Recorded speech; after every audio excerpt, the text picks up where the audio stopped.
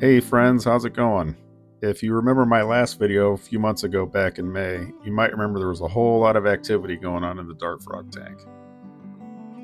I ended up catching a lot of really cool breeding behavior, but the best part was yet to come. The following day, I decided I'd flip a few leaves over around where most of the action was taking place, and I came across the first clutch of eggs.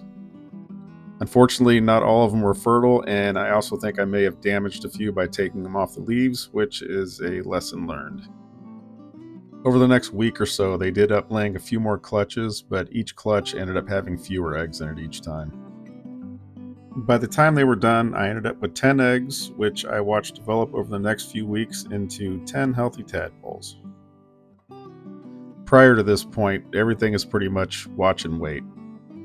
From here on out, though, there are a few things you need to do to ensure that your tadpole makes it to a froglet. The first thing you'll need is a container to house the tadpole in until it reaches that stage. For these tadpoles, I'll be using 16 ounce deli cups.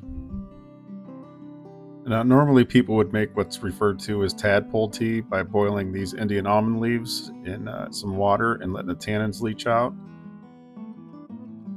But since I was making these cups up so early, I thought I would just throw the leaves in there, add some water, and let the tannins leach out on their own. Uh, last but not least, you're going to want to add a clump of java moss to your cup. Now, the reason behind the tannins and the java moss is that the tannins contain antifungal and antibacterial properties, and the java moss is there to consume any excess nutrients created by the tadpole waste. Here I have all my cups done, and after a few days of sitting out, we have tadpole tea.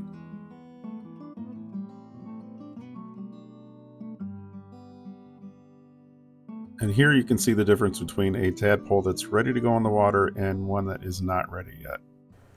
Now the significance of the tadpole that has straightened out is that it is done consuming its yolk and it's ready to start swimming. As you can see in this picture, and you may have noticed in some other ones, the veins going out from the tadpole are going into the yolk and they're absorbing the nutrients. Now, tadpoles from dart frogs are not like other frogs, and if the egg is completely submerged in water, they will drown. Now, this is not my finest moment. As you can see, I'm trying to transfer the tadpole that's ready to go into the water but the water tension will not release on the edge of the petri dish, so it's a little rough here. But once I do get him into the water, then he still has a bit of the membrane on him, which I did not see while he was in the petri dish. At this point, I am struggling a bit on whether or not I should pull him out, but I thought since he was in there, I'd give him a few nudges, being careful not to try to pull the membrane off of him. That's definitely not something you want to do. But here you see he just sheds it and he's good. The best part about getting your tadpole in the water is the really critical stages of the life cycle are pretty much over. From here on out, it's pretty much keep the water clean and keep them fed. So in this part, I'm going to show you what I do for the water. To store my water for the top offs and water changes, I just use a lemonade jug with a spout on it. Now since I use RO water, I do use Replenish to put the minerals back in the water and a much cheaper option than almond leaves is to use instant Amazon black water solution. Now I have seen some videos of people using straight RO water, which I would caution against. The reason you don't want to use 100% RO water is you can induce one of the conditions of osmotic shock, which is hypotonic shock. Hypotonic shock occurs when there is little to no, in this case, mineral or salt content outside the cell, which causes water to rush into the cell, damaging it or possibly bursting it. On to a happier note, uh, this is what I do for my weekly water changes. The cup on the left has clean water in it, and the cup on the right is for the wastewater that I'm going to extract from the cups. So the first thing I actually like to do with the weekly water change is pull out the Java moss.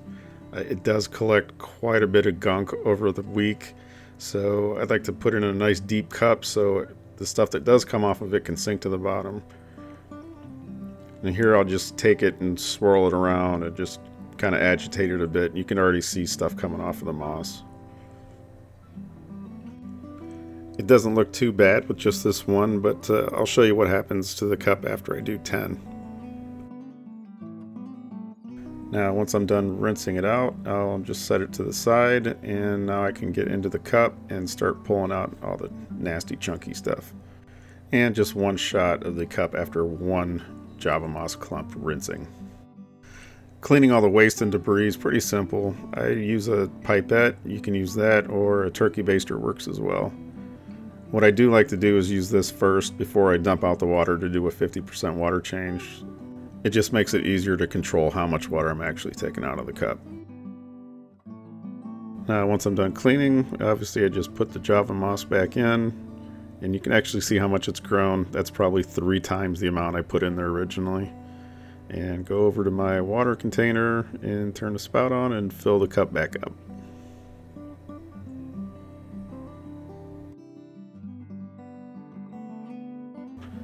And as promised, here is the cup after rinsing out 10 clumps of Java moss, which in my opinion is well worth the time and effort.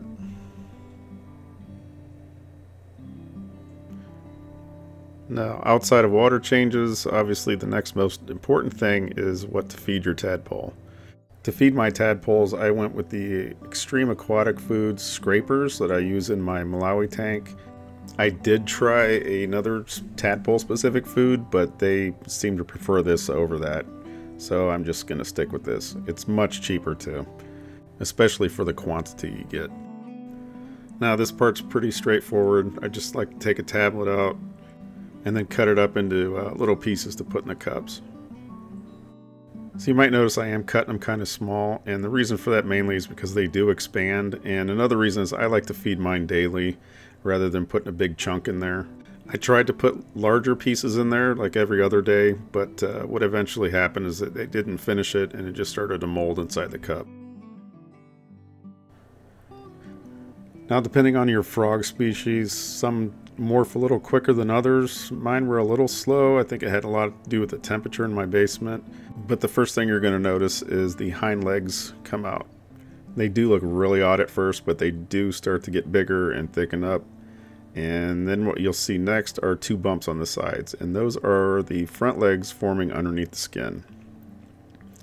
Shortly after that, you're going to see the pigment start to come in and some patterns. And unfortunately, I didn't have any pictures of the front legs popping out, but here you can see this tadpole is about ready to come out. Now, during this stage, they're going to stop eating and they will start absorbing their tails. And you'll also notice that they start surfacing quite a bit more to take gulps of air.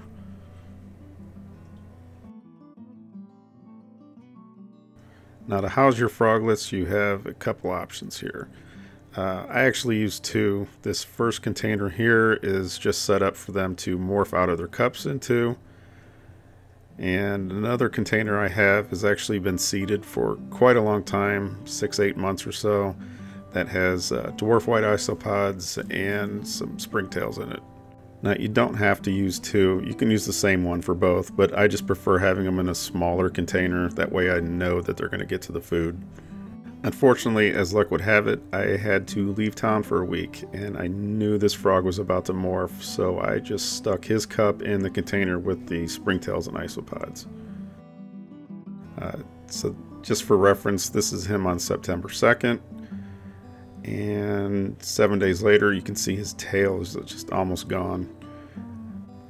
So luckily I had my nephew feeding my other frogs and he showed up in the middle of the week and snapped this picture and that's only two days later after the previous picture. So once they start absorbing that tail it really goes quick. And then by the time I came back I had my first froglet. So unfortunately unlike feeding tadpoles you're really limited on what you can feed the froglets. Uh, for small thumbnail type frogs like Oophagas and Ranitomeyas, you're pretty much limited to springtails and dwarf isopods in the beginning.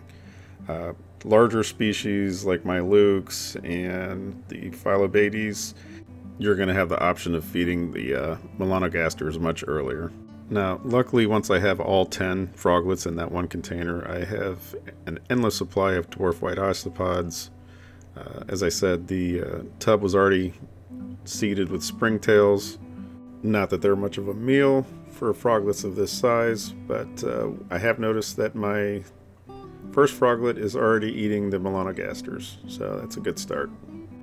Now here I just threw in a little clip of how easy it is to feed the uh, froglet with this container, rather than trying to pry a lid off and shaking it up and freaking them all out. So just a quick recap here of those of you who might be interested in it. Uh, they're not really in any order, but definitely for your tadpoles, you want a high quality food. I like the spirulina based foods. Uh, there's a lot of benefits to spirulina itself. Now, when you do feed the tadpoles, try not to overfeed them. I prefer the uh, small portions daily and still removing anything that is uneaten to keep the water quality up. Now, along the same lines, is just try to keep the water clean. Do some spot cleaning, just top the water off with whatever you remove. Now, one thing I did forget to mention was the water temps, which is pretty much the same as what the adult frogs like to be kept in. Unfortunately, besides death, there is the added risk of some developmental issues if the uh, water temps for tadpoles are kept in the high 70s. Now, this one here is pretty simple. Just be prepared. It never hurts to have things set up early. And last but not least, just do your research. Not all tadpoles need to be cared for the same way, and some of them actually you don't need to take care of at all. Well, that's a wrap on this one. I hope you guys enjoyed. Hope some of you maybe learned a little something, and uh, just a little quick shot here of the 450 gallon vivarium that the parents are in, that these guys will be joining them in hopefully a couple months. Oh, and uh, speaking of the parents, uh, I hear them going at it again.